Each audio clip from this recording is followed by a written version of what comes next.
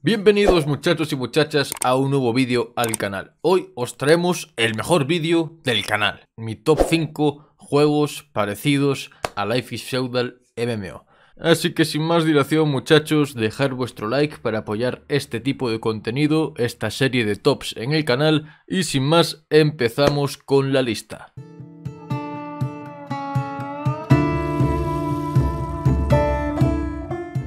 El primer juego de la lista se titula Kenshi. Este es un juego que se lanzó en 2018. Kenshi es un juego ambientado en un mundo post-apocalíptico extraterrestre. ¿Qué os preguntaréis que esto que tiene que ver con la trama feudal medieval de Life is Feudal?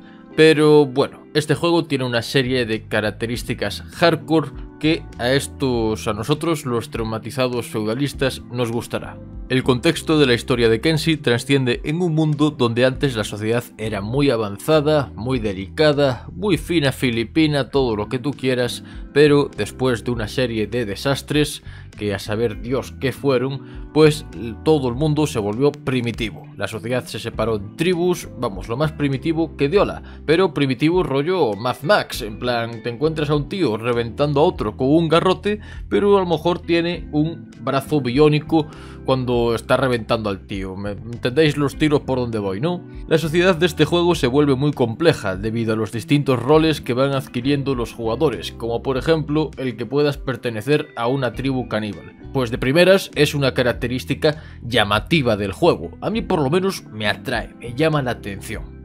Esta serie de detalles, como lo de la tribu caníbal, o que sencillamente puedas elegir el trasfondo de tu personaje al crearlo, y según este trasfondo, pues tu personaje sea más hardcore o menos hardcore, como por ejemplo que puedas empezar con un tío al que le falta un brazo, un maldito brazo, esto es una locura, y esta serie de características es lo que me dan ganas a mí ahora mismo de descargarme Kenshi.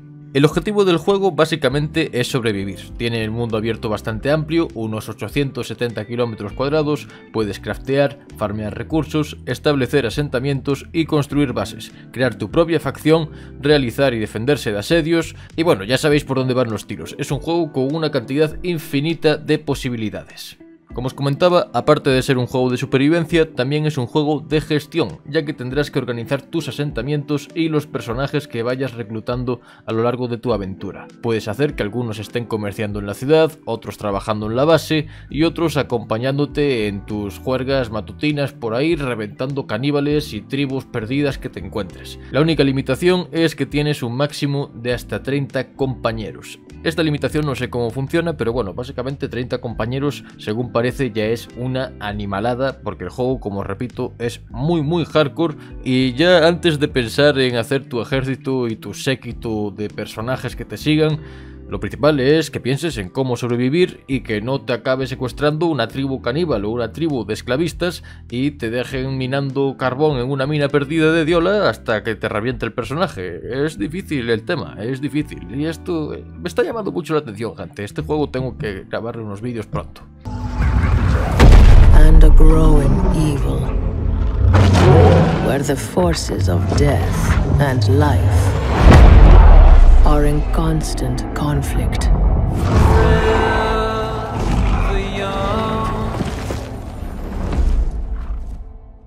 Antes de pasar al cuarto puesto, vamos a hablaros sobre un juego bonus, y este es Nui World, el MMO de Amazon. Ya he publicado un par de vídeos sobre este juego explicando mis primeras impresiones y demás y aún tengo que traer otros 5 o 6 o 7 vídeos hablando más a fondo sobre este título, ya que tiene bastantes puntos a tratar y a discutir, ya que tiene algunos positivos y otros no tanto.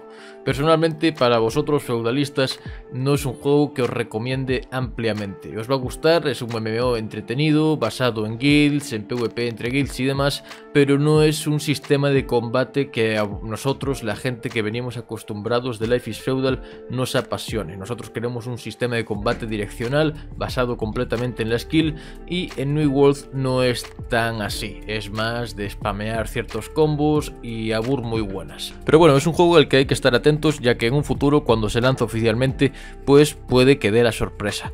No os lo recomiendo directamente debido al sistema de combate como tal, pero depende de cómo vayan añadiendo o mejorando el contenido que ya existe y cómo se se vaya creando y formalizando la comunidad de jugadores, pues puede que, acabe triunfando o, que no, no sé. En plan, vosotros estar atentos a este juego, pero eso, pasemos con el siguiente, que se viene lo pepino.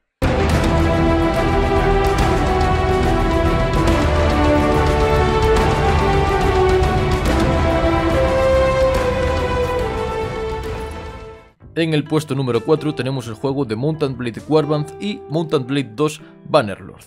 Os voy a comentar así un poco a prisas el punto negativo y el punto positivo de cada uno, y es que el punto positivo de Mountain Blade Warband es que es un juego que tiene ya una trayectoria de más de 10 años, está cargado de contenido y no defrauda. Lo malo es que tiene unos gráficos, como repito, de hace 10 años, que no sorprenda. La versión madura, la versión con las nuevas tecnologías gráficas y demás, es Mountain Blade 2 Bannerlord y es un juegazo.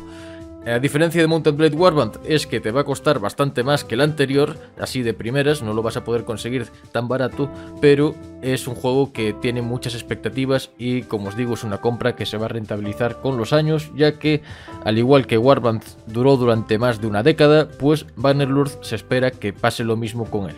Ahora mismo se encuentra en una fase de Early Access y por lo tanto todavía le falta bastante contenido que añadir al juego, no tenemos toda esta serie de mods completísimos que hay en Warband como el mod del Señor de los Anillos o el de Juego de Tronos, pero próximamente seguramente los tendremos en Bannerlord según la comunidad los vaya desarrollando. Hace poco los developers dejaron libre el kit de mod, así que los modders todos pueden trabajar libremente en todas estas historietas que se van a crear en Mountain Blade 2 Bannerlord. Es un juego muy popular, eh, empezó muy alto y ahora mismo pues está un poco a la baja, en plan está como os digo en el Early Access poco con la curva baja de jugadores, pero una vez se publiquen toda esta serie de mods de contenido que te cambian la historia por completo y una vez se abran los servidores públicos de estos servidores online que tú puedas contratar y tener tu servidor para 50, 60, 100 jugadores, una vez se abran esos dos detalles, se abra la veda, ahí la popularidad de este título se, vamos, em, se crecerá por 10 y por 20 y hasta por 30. Y es un juego que, como os digo, tendrá una vida estimada de otros 10 años. Así que, juegazo.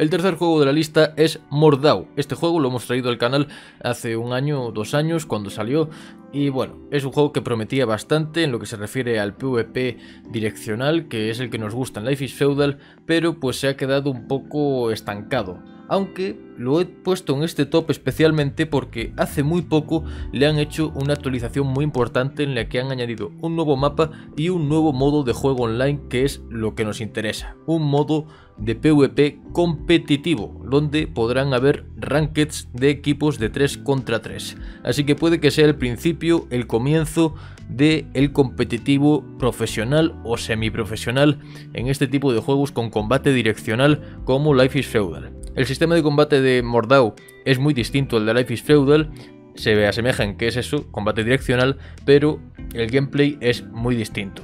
A mí no me apasiona tanto, pero vamos, hay que echarle un ojo y ver cómo va avanzando este modo competitivo y de ranqueo. Peggy 18 What is chivalry? Chivalry is medieval. En el puesto número 2 tenemos un juego del estilo de Mordau. El juego se llama Chivalry de Medieval Warfare y próximamente Chivalry 2, que es el que nos interesa hablar ahora. Chivalry 1 es un juego muy antiguo, imagino que todos los que estamos aquí ya lo conocemos. Y bueno, es un juego que realmente, pues si te mola este estilo, pues es totalmente asequible, sigue estando muy activo y aquí tenéis imágenes de su perfil en Steam y bueno, pues si queréis jugarlo, pues está fenomenal. Mientras, ojo, todavía no sale Chivalry 2, que es lo que nos interesa hablar hoy. De fondo estáis viendo el tráiler de lo que será Chivalry 2, el segundo título de esta saga de juegos de combate online medieval súper épico. Chivalry 2 es un juego que promete mucho. Va a ser muy similar, lógicamente, a Chivalry 1, únicamente que con gráficos muy mejorados, un mejor gameplay y más contenido, más mapas y lo que se vayan inventando. Pero vamos, que va a ser un juego que sencillamente, sencillamente va a ser un exitazo. Se estima que su lanzamiento será para 2021 y yo creo que será para el primer semestre de 2021, ya que en un principio se iba a lanzar en 2020 pero se acabó atrasando.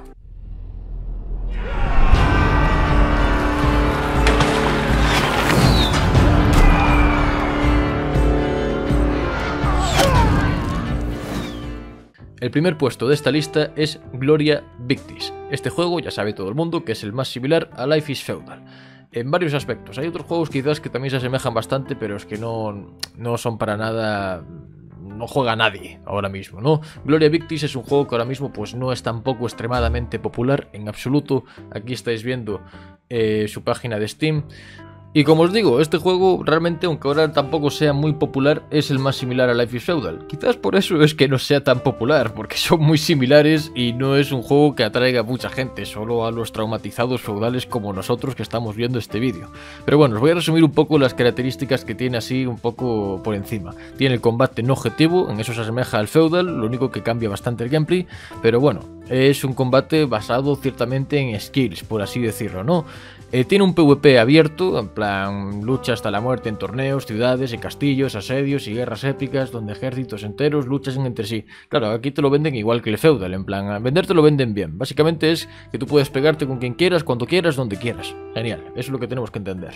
Control de territorio, vamos, como en el feudal, pero con otro sistema, ya que tienes que conquistar tierras, asediar pueblos, castillos, etc. Otro detalle importante que se asemeja mucho al feudal es el sistema de artesanía. Y bueno, esto pues yo creo que puede estar guay, pero aún así yo diría que el sistema de artesanía del feudal es insuperable. En plan, no he jugado a Gloria Victis, pero me parece muy muy difícil que supere al sistema del feudal. En plan, quizás tenga más contenido y demás, pero hay que ser sincero, el sistema de artesanía y crafteo de Life is Feudal es de los mejores que hay en todos los juegos, eso es eso hay que comentarlo. Y la característica más importante también de Gloria Victis es que no existe la fantasía.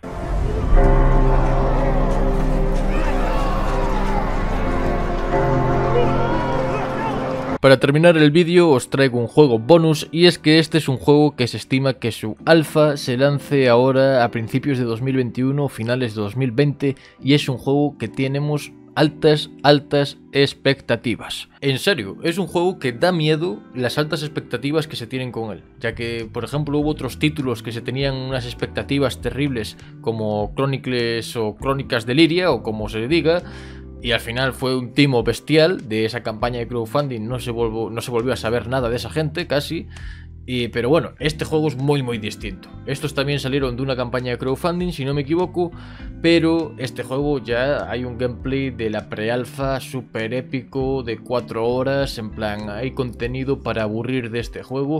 En Ashes of Creation los desarrolladores intentan traer las mejores características de los antiguos MMORPG, los mitiquísimos, los mejores MMORPG y las técnicas más novedosas de los últimos juegos sandbox. Las técnicas del juego sandbox y combinarlas con el MMORPG y hacer un juego súper épico, súper complejo, súper divertido, súper intuitivo y súper fantástico para todos los públicos. Para alimentar un poco vuestro hype, gente, sobre Ashes of Creation, en la descripción de este vídeo os voy a dejar un enlace al vídeo que voy a subir dentro de 4 horas, después de que suba este top 5 juegos parecidos a Life is Feudal MMO, hablando más sobre Ashes of Creation, todo lo que sabemos hasta ahora en este momento. Así que sin más, gente, os lo dejo en la descripción, ahí tenéis toda la información y por lo demás espero que os haya gustado este top, esta lista de videojuegos, espero que os haya ayudado, tengáis ya decidido a lo que vayáis a jugar la siguiente semana de vicio y como siempre apoyar este contenido con vuestro like, suscribiros al canal y activar la campanita para no perderos contenido. Un abrazo muy grande gente y hasta el próximo vídeo que es Gerundio. Hasta luego.